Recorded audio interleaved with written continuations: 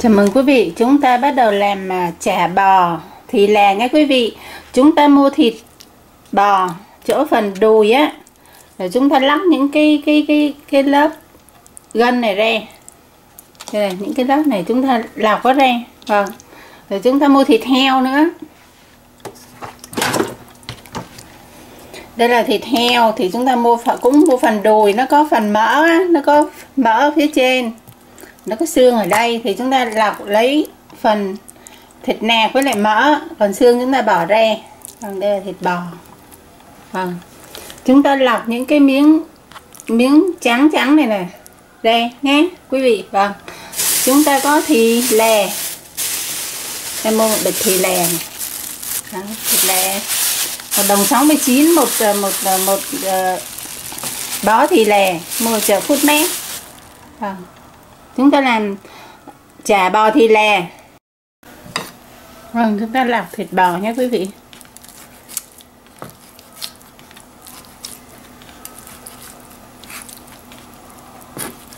Cái lớp trắng trắng này chúng ta bỏ đi thì không có xay vô được, nó bị dai lắm. Đó. Sau đó chúng ta thái nhỏ cho nó dễ chúng ta có một tô thịt bò. Đã thái nhỏ ờ, thái cái vuông á. Giờ chúng ta lóc thịt heo nhé quý vị. Đây là thịt heo mà cái chỗ mông á. Vâng nó dẻo lắm. Chúng ta lóc ra, chúng ta lấy thịt, bỏ xương ra. Chúng ta bắt đầu cân nhé quý vị. Quý vị nhìn này một ba rưỡi thịt bò. Chúng ta cân, chúng ta cân một ba rưỡi thịt heo. Xong rồi chúng ta trộn đổ chung với thịt bò tí nữa chúng ta xay chung á. Đây là ba bao. Vừa thịt heo với thịt bò. Vâng.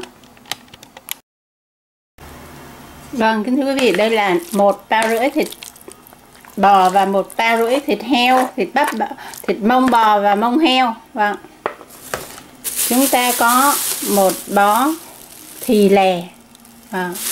Bây chúng ta bắt đầu xay nhé quý vị. Xay xong, rồi chúng ta mới bắt đầu ướp xay cho nó hơi nát nét ra. Rồi chúng ta có một bịch lá chuối, một teo. Lá chuối đông lạnh quý vị ạ.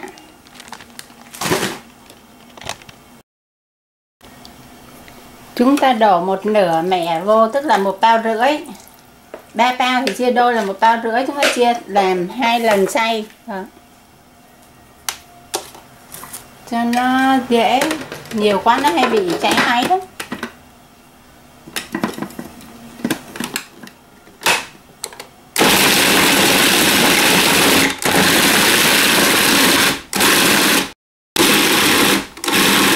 đã nát. Hơi nó nát, chúng ta bắt đầu lấy hết ra nhé quý vị. Vâng chúng ta đổ ra. Rồi chúng ta bắt đầu ướp. Vâng công thức ướp thì cũng giống như làm chả lụa hoặc là chả mọc á. Vâng ba bao, thay vì ba bao thịt đùi heo thì là chúng ta chia ra một bao rưỡi thịt bò, một bao rưỡi thịt đùi heo hai muỗng rưỡi canh bột khoai, một gói bột nổi, bốn muỗng canh nước đá, ba muỗng canh nước mắm, ba muỗng canh dầu, hai muỗng cà phê bột nêm, hai muỗng canh đường nữa quý vị nhé, rồi hạt tiêu. Vâng.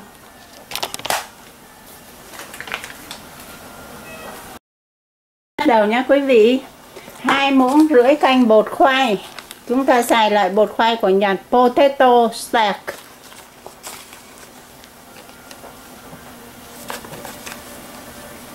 một, hai, rưỡi. Vâng hai rưỡi. Một gói bột nổi. Vâng đây là gói bột nổi, quý vị. Chúng ta và hết một gói bột nổi nha, quý vị.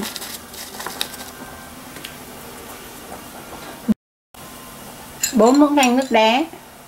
1 2 3 4 3 muỗng canh nước mắm.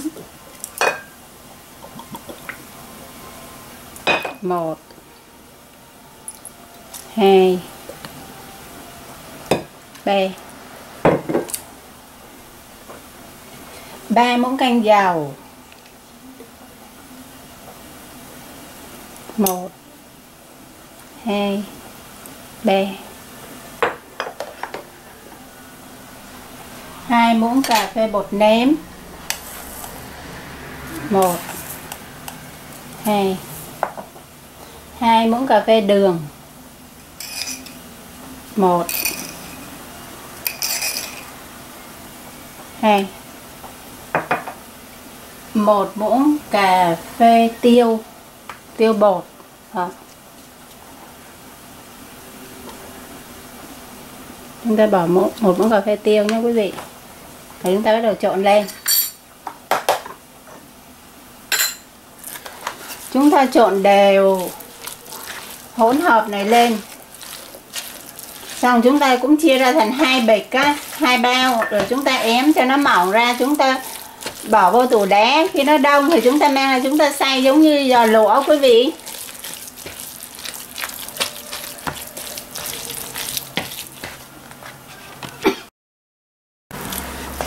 Hỗn hợp đã được trộn đều. Chúng ta chia ra hai bịch nhé quý vị.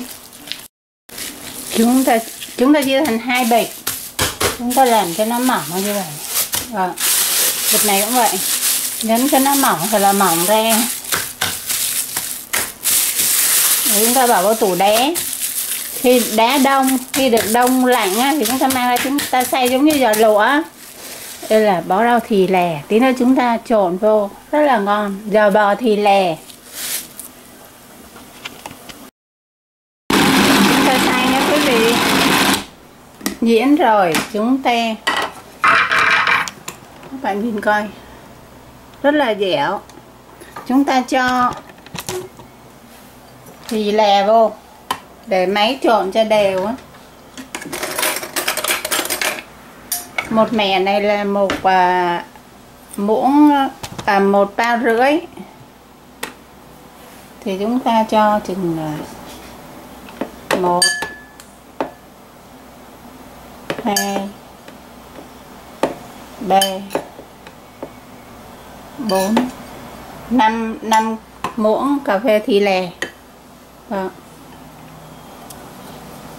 để cho máy họ trộn à, nó trộn chung vô cho mình cho nó đều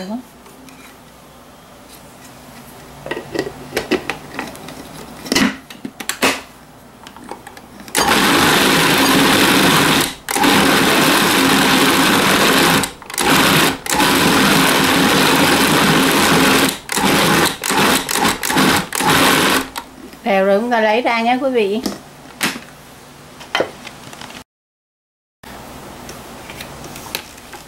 Xong rồi chúng ta lấy ra. Thì là đã được trộn đều trong chả bò.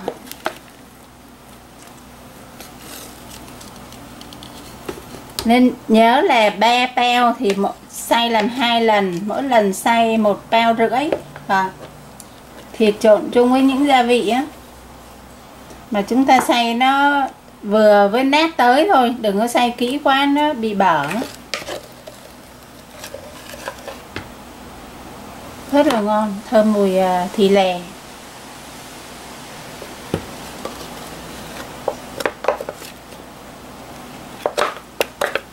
Chúng ta lấy cho hết ra, rồi chúng ta xay xay mẻ thứ hai.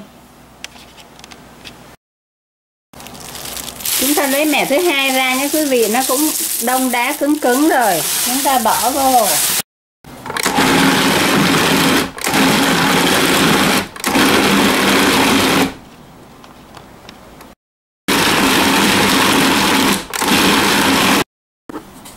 Chúng ta lấy ra. Rất là dẻo quý vị ạ. Bắt đầu chúng ta gói nhé. Dẻo lắm. Chúng ta đã xay xong hai mẻ. Hai mẻ là ba bao thịt, mỗi mẻ một bao rưỡi. Và bây giờ chúng ta bắt đầu gói nhé quý vị. Vâng. một mẻ thì chúng ta chia đôi là một bao. Vâng. chúng ta gói.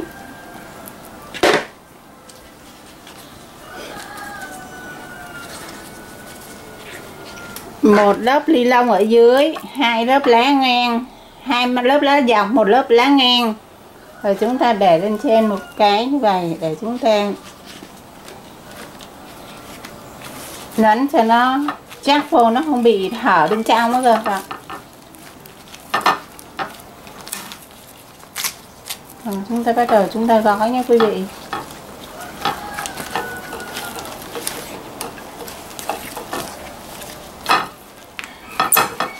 Đánh cho nó thật là chắc khi chúng ta luộc á thì nó không có bị à, lỗ ở bên trong vâng.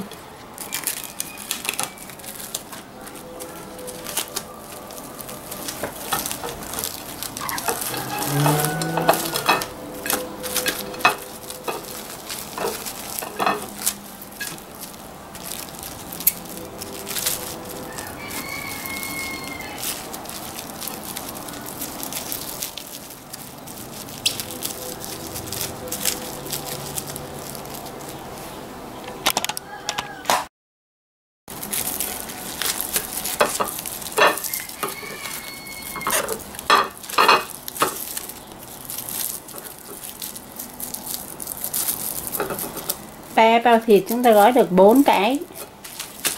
Mỗi cái là một peo. Vâng cân đây là một peo. Vâng chúng ta tiếp tục ờ, gói xong rồi hai cái chả lụa, bò với hai cái chả chiên bò.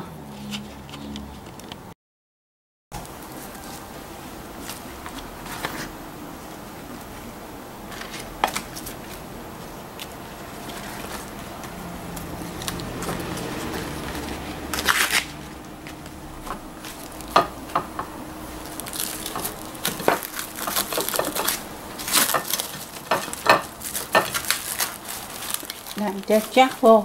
Đó. cuộn cho chắc vô, nó không có bị à, bị lỗ bên trong, nó có bị.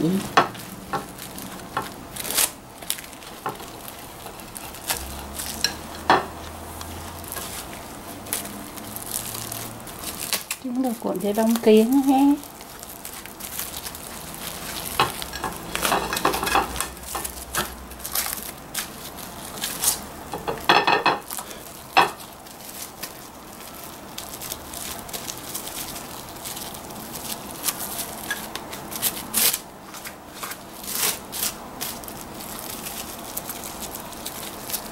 Ừ, cho hai đầu nó vuông.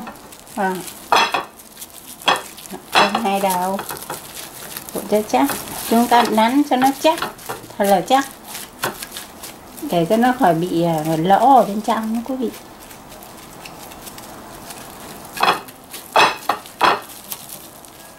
Chúng ta bắt đầu dây cột nhé quý vị.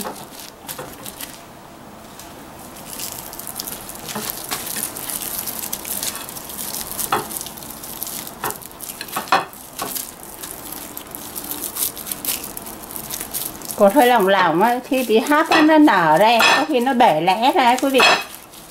Rồi. Vâng chúng ta ấn cho thành hình.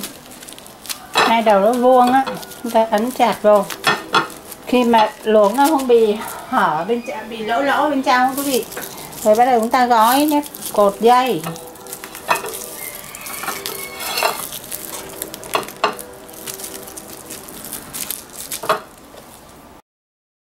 Chả chiên chả chiên cũng vậy chúng ta lấy một lớp ni lông. Chúng ta để trước, rồi hai lớp lá nguyên.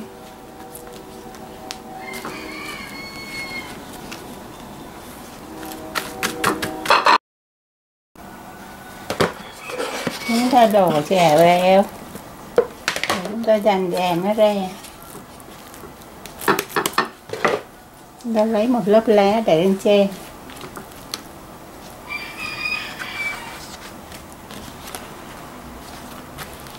Ta dàn cho nó mỏng mỏng ra.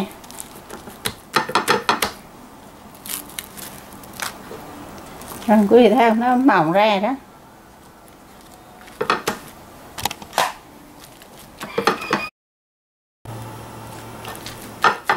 Chả bò thì là chiên, dẹp. Chúng ta ép cho nó dẹp ra. Vâng. Xong chúng ta gói ra.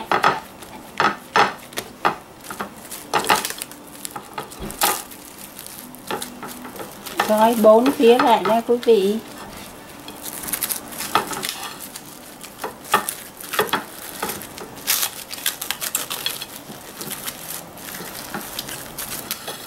Bốn phía lại cho rồi chúng ta hấp đó thành được cây vuông à, quý vị thấy màu không? Dạ. Yeah. bắt đầu chúng ta gói vô nhé. Chả chiên thì ít khi bị lỗ ở trong lắm tại chúng ta dàn cho nó kỹ á.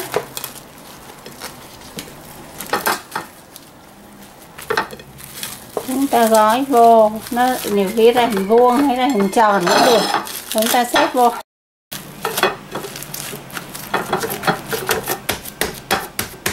Chúng ta bỏ vào sừng chúng ta hấp nha quý vị. Vâng. Chúng ta bắt đầu xếp. Một cái đẹp hai cái đẹp và hai cái chả lụa bò. Vâng tổng cộng là ba bao làm được bốn cái chúng ta mang chúng ta hấp nhé quý vị.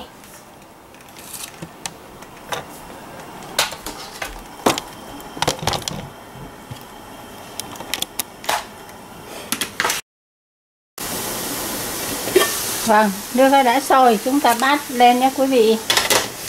Hấp. Hai cái chả chiên với hai cái chả lụa. Giò. Thì lè giò bò thì lè vâng.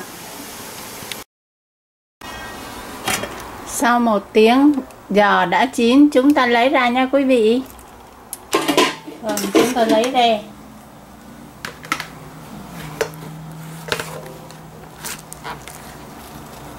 Hai cái chả bò.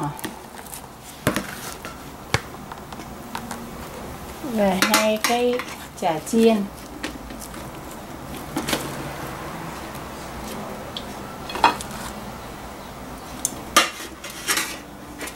Thơm lắm quý vị ơi.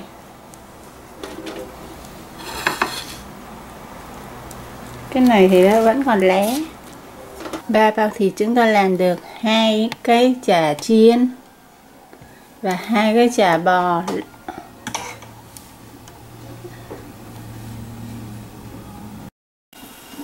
Dầu đã sôi, chúng ta bắt đầu chiên nhé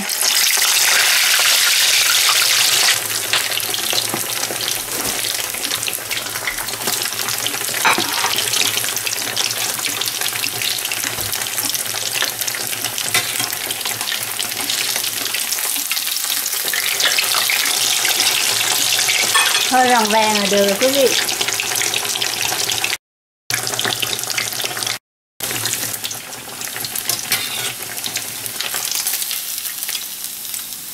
Vàng đều hai mặt chúng ta. Lấy ra chiên tiếp cái này nữa nha quý vị, hai cái.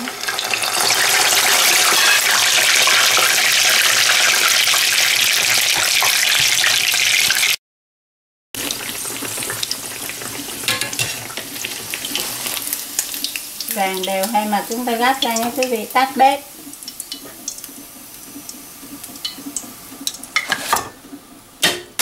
Là chúng ta có hai cái chả bò thì lè chả chiên chả bò chiên thì lè. Chúng ta có hai cái chả chiên với hai cái chả bò thì lè đó. Thưa quý vị chúng ta tháo, tháo ra thì nó như vậy nha. Chúng ta cắt thử coi bên trong như thế nào. Vâng rất là trắng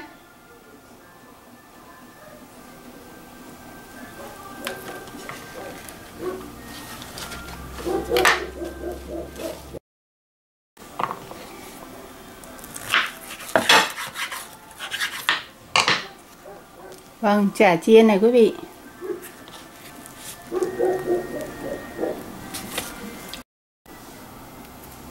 Chúng ta gói nhé quý vị. Lấy một lớp giấy bóng kiến à, Cái đặt cái chả này lên. Rồi Lót lé. À, Xong chúng ta gói lại bốn phía.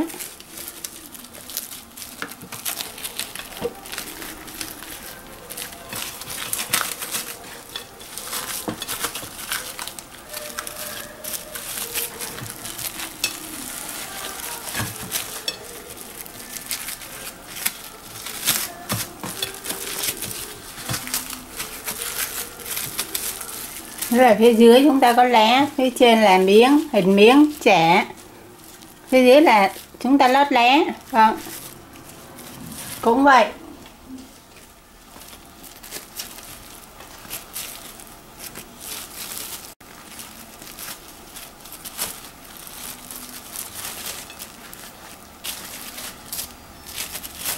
Dưới là lót lá. Đó, hình miếng trẻ lá nó ở phía dưới quý vị ạ.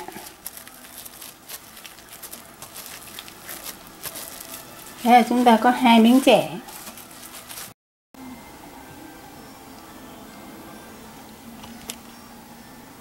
hai miếng chả bò chiên và hai miếng giò bò thì lè. Chả bò thì lè. Và, và hai cái giò bò thì lè.